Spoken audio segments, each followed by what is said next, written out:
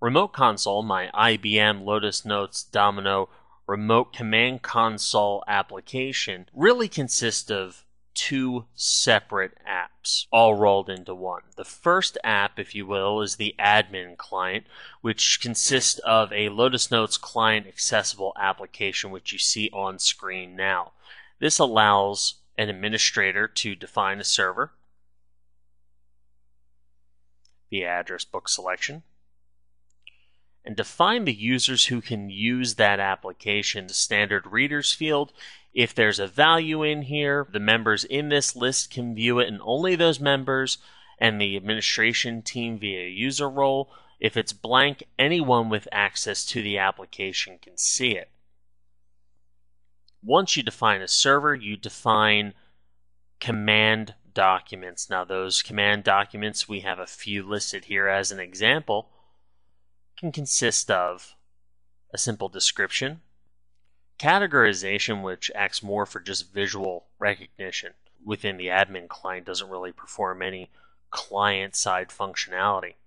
The actual console command that you're going to issue, and just like with the server document, you can lock down the readers to who has access at the user client to this individual command. This gives you some pretty extendable functionality. Now, once you've set this up, you can actually go into your client. I have here remote console pulled up on my BlackBerry 9700 running the OS 5 browser. I'll select my server. I get a complete list of my commands that match the commands listed. I can scroll up and I'll issue a DB cache flush with my description flush cache. I'm conf- I'm asked to confirm if I want to submit the actual command to the server. I'll scroll over and I'll say yes. And it performs the request. Very basic stuff. And it's actually performing a DB cache flush on the server.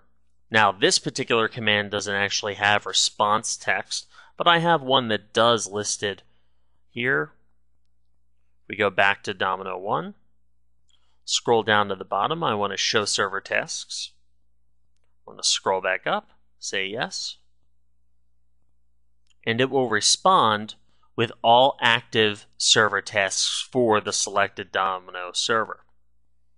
Pretty slick application and available right now for $5. You can check the video notes posted to this demo for where you can get your own copy of Remote Console and start deploying this to your users. Now, your users may consist of other admins on your team, help desk, and other IT staff that may need to issue remote console commands that you don't want to necessarily give them the admin client nor access to do it. This runs completely signed by the admin. So just make sure that the signer of this application has the ability to run remote console commands and you're good to go. Every transaction is actually recorded as a log entry so you can see who performed what on the server. And that's it.